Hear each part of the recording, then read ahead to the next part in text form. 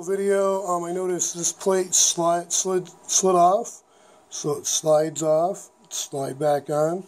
It makes sense now to see the speeds. This isn't like a, a wiper with a variable potentiometer. They're coil resistors, I'm guessing. So each coil's a resistance, and you're just switching over to a different resistance. Uh, I guess individual or combined. I'd have to look at this a little more. And looks like when you go all the way over, you're past, past that last wiper and um, all the way floored, you know, it should be full power, I guess.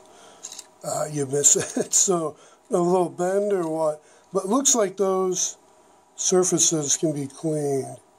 So I'll clean those and you know if a little bend might not hurt to keep that uh, better contact with the surface. But I wanted to show that. Um, next up I'll try to get into the motor, clean that up. Okay, looks like this paused and this is continuing. Okay, Nito. So, what do we have here? A waiting.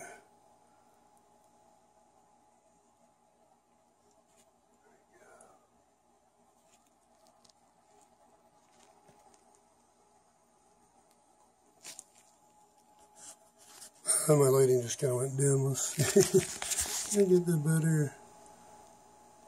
There we go. I think that got everything. The label. Um, to remove that uh, cover, there's two screws on the, oops, I pointed the wrong location up top. So right here.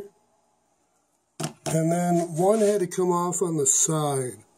It's right here, and then there's two on the bottom. And to get to the bottom ones, you need to, oh, let's see, flip this over and access those one and two. Uh, there's another cover on the side screw, this longer one. I think that needed to be removed. And then to get this whole side part off, I'll have to take, I think, this off, and that whole mechanism will come off. But, um, anyway, wanted to see what uh, the oiling holes were like back here. And this is a one or two or one? It's a one. So there's one little oiling hole right there. And the good thing is, is this motor can be disassembled and clean. I can check to see if it's been like Andy Tube, I think it's called, YouTube. He's got a good video on it. The motor's been wet or the motor's been over oiled. Um, so mainly you just want to get these uh, like a bearing or a bushing, I'm guessing, around the ends oiled. The rest doesn't really need to be. And then there's commutators where the brushes are. Uh, let's see, I think that's what this hole is. And I don't feel, oh yeah, there's one under here too. There's another uh, uh, access point for, I'm pretty sure those are for the brushes.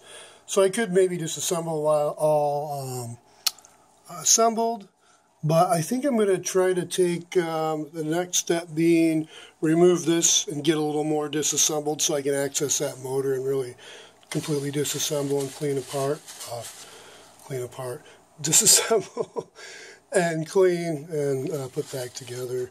So this, this is probably isn't going to be a parts machine. This will be an interesting uh, restore. Um, I guess will be once I'm confident the operation's running smoothly, um, I guess will be just this selector. I don't really understand tensioning.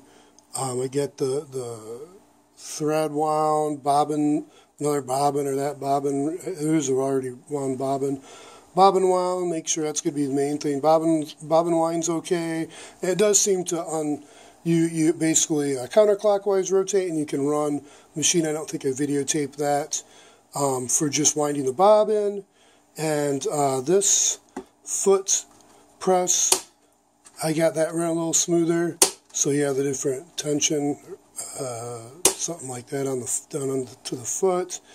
Um, yeah, it'll be interesting mainly to see how the stitching operation performs with tensioning too much, too little, so get that just right.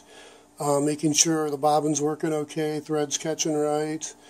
And, um, yeah, the aesthetics. I think this tray is plastic line. This can probably all be removed.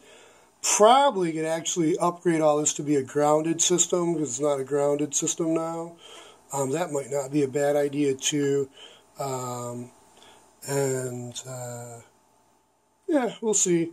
Um, wiring, I noticed just going through the wiring where there's any cuts or frays. Um, I don't really know what year this is, 60s, 50s, 60s, I'm guessing 60s.